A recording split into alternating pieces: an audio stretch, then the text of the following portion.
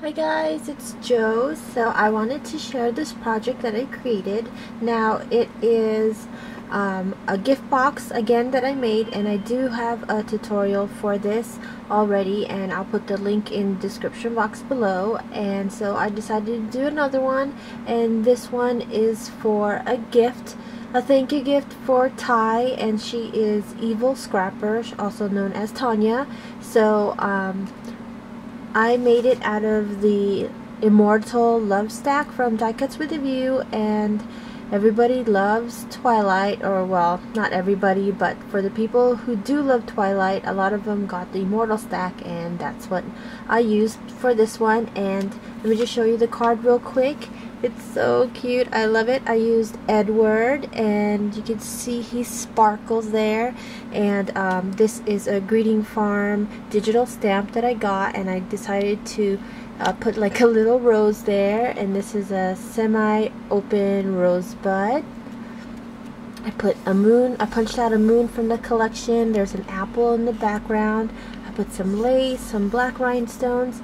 Um, I cut this word bitten from the paper stack and it has the little glitter outline. And I put two super brads there, some more lace and um, bling flourish. And then on the inside there's my message but um, I um, also used the paper as the background there, the forest and the water, and then my uh, message is in like a circle, like kind of like the moon, so that's where my message is, and here is the card. I think it just turned out really cute.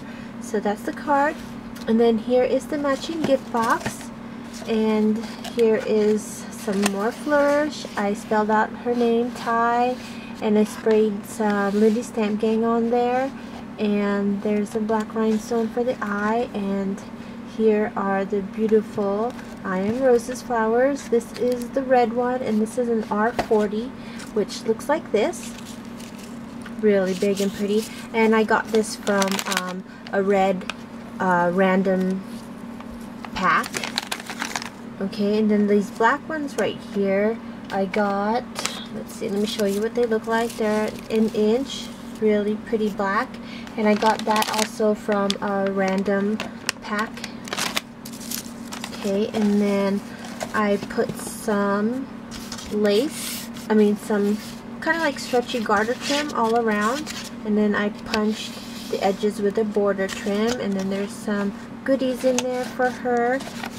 It goes like this and then the front part this is a rose that comes from that paper stack and there's two designs of um, there's two papers of each design so basically I cut the rose out and then um, the same image on the other paper I cut it out the inside part of the rose and I popped it up and then there's a checkered heart in there that I cut out and then there's um, a little saying that says true love so I cut out like a little banner flag there and then in the center I put another black rose and then on each side I put these uh, half inch white roses and then I put a, a trio of the semi-open rosebuds in the red right there and I curled the stems on the flowers. So that's what it looks like.